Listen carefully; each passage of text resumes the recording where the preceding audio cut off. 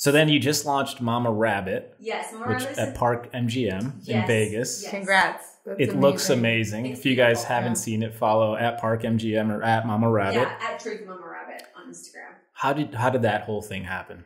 Uh, so like you, like you, like I told you, mezcal's been a part of our life forever. You know, we were sort of pioneers of mezcal in Los Angeles and met a lot of people throughout throughout the years.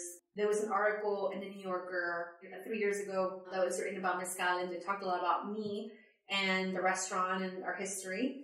And then Is that the one where you're like the queen of mezcal? yes, that's the one where The they queen. like, of They mezcal. They hyped you up. Literally, I know. I honestly, I You were the number One, face. I had no idea. I had no, number one, I had no idea that I was going to be a focus of the story at all. I just went to Oaxaca because I wanted to show this woman where to go to go drink mezcal. and, Yeah. you know, I Right. I wasn't even going to go to Oaxaca. It's just last minute decision. I went to pick up the copy, and it was a travel. I think it was a travel issue, and it had a flap, and it said.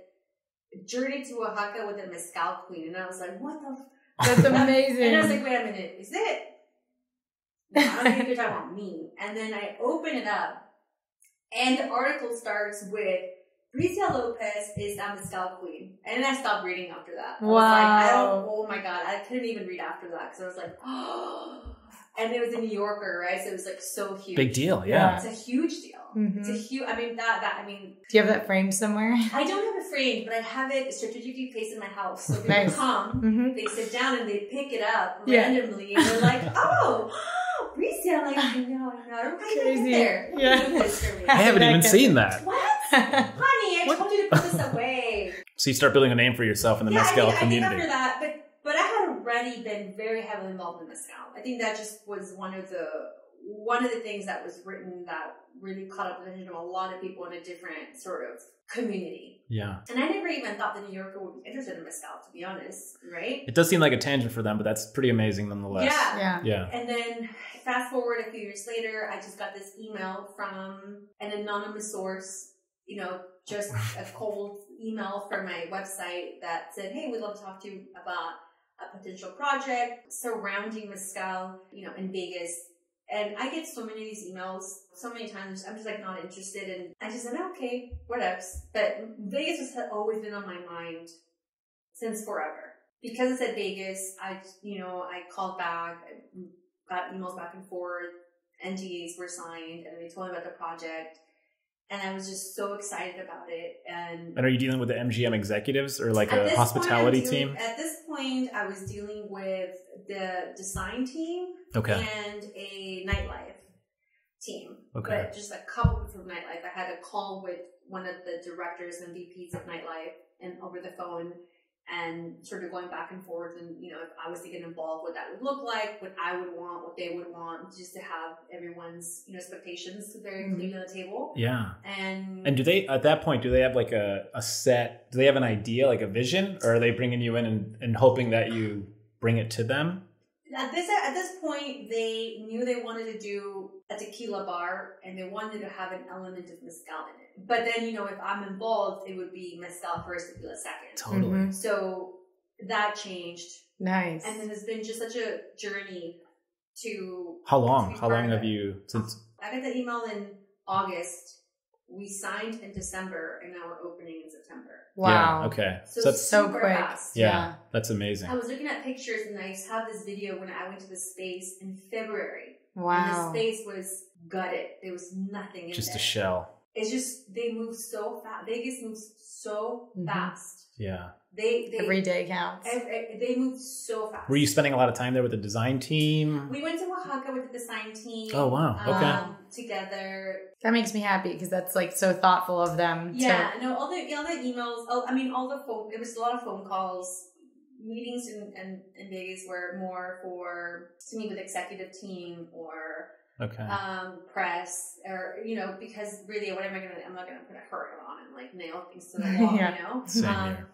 but but I will. yeah, but Yeah. a month before that's really when a lot of the work begun and we have to go all the time and you know two months before we got a lot of artifacts made in Oaxaca and shipped over so Oh, you know, we're seeing all of those things Yeah. um, and That's just you know just making sure some of the mezcal was well represented and And are you in charge of the bar program? Were you working with them on the bar I program? I worked with the with the corporate mixologist. His name is uh, Craig Schoettler, uh, who is amazing and incredible. Comes from Alinea, and he's Oh, just nice. like yeah, he's such Yeah. an incredible. He was he, chef Sounds like a legend. Sure. Yeah. Uh, Is there food there too? There is bites. Like light bites? Okay. Light bites. I don't want to talk about the food because it's such a small menu that I don't think it's. You're not going to go for the food. You're going to Yeah. You're go not, for you're the. not going for the food. You're going Sure. to drink cocktails and have Mhm. great. Is there like a what's your favorite cocktail on the menu? Well, we have like a like a cocktail, obviously, Amazing. right? And that's Mhm. like the the spicy margarita version. I mean, we have this drink that is called Garra de Tigre, and and Guelaguetza is number one seller. It's so funny because today actually I had training with my staff, and my staff was was telling me, you know, a lot of people come and ask for a spicy margarita with mezcal. Yeah. We should have something on the menu like that. And you're like, we do. And I'm like, okay, let's talk about the ingredients of margarita, guys. Yeah, yeah. And then what's in the ingredients in the margarita? I'm like, what's the ingredients in this one? Right, with chile, which makes it a Uh, spicy yeah. margarita. A little mezcal mar. Yeah, yeah. Yeah. And they're like, huh, Also, my favorite summer cocktail. Yeah. I'm just like, how do we name this spicy margarita cocktail from the beginning? People would have a different idea of what a Mhm. mezcal spicy Sure. margarita would be, but Yeah. We named it something else. Anyway, I love the cocktail program there. I think, I mean, obviously that is why you should go, Yeah. but they're so innovative. Do they? Do They're they? beautiful. They're When they do, cocktails. do they do tastings of mezcal? And, Yes, and the little clay flights. pots? They do, Wow. They do, they do with the veladoras. Oh, really? They- The we little use- candle glass? Yes, we oh, decided that's to do cute. veladoras, and we do ceramic copitas for tequila. Yeah. Oh, Okay. And the ceramic copitas Oh, are interesting. actually made in Oaxaca too. Amazing. They're beautiful. beautiful Yeah. Beautiful, beautiful. It's a cool experience to see those too. Um, and we serve the mezcal both with citrus and agave with warm salt, the sal de gusano, and chocolate. 'Cause Ooh. And chocolate. and chocolate is the best pairing. People know. Really? Yeah, we do. These, I haven't done that yet. Yeah, we do these really cool uh, Oaxacan chocolate truffles. Um, The Mm. chefs from Park did these beautiful truffles with the Mama Rabbit logo on top. Oh, cute. And they give you your mezcal with your truffle. The Yeah. art inside the Oh, space yeah, is like yeah. unbelievable. I know. How did that come about? Well, Okuda actually was also pinpointed by the by the team, so I Okay. didn't choose the artist. Okay. Um, it kind of already came with the package per se. Sure. They said, you know, we have this artist that we really want to work with. Obviously, they said, "Are you okay with it?" Um, you know, I looked into it. I thought it was like the coolest thing ever. I'm like, "Yeah, he's great." It's beautiful. He did send the first draft of his um, of his idea. hmm There were a few modifications that we made just because of what the space was and what it meant.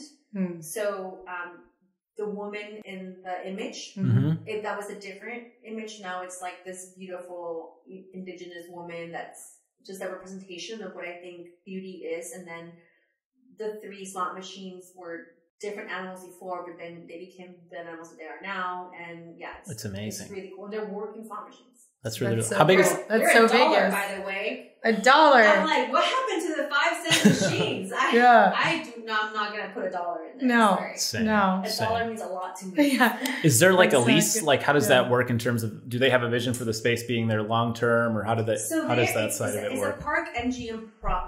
Hmm I am a partner, but I'm not like the owner of the space. Yeah. So it's their team, their management team, and I'm a partner in it. Got I'm it. not. I don't. I'm not the operator. They they operate it. They build. They. I mean, it's it's their space. Yeah. And then they decide when it makes financial sense to say like, it's not working. We need to tweak things. Sure. How can we make this better? But it's you know our job to make sure that they do well Yeah. uh, promotion, you know, being on top, like what, what, what else can we do? And keep it as authentic, but also understanding that it's Vegas. Yeah. Understanding who goes to Vegas and there's being idealistic and being realistic. And, and I've learned a lot from that too, you know, from it's only going to be mezcal, but like, that's impossible. Yeah. Okay, only mezcal and tequila, that's also impossible. You need Yeah. to have gin and vodka and rum.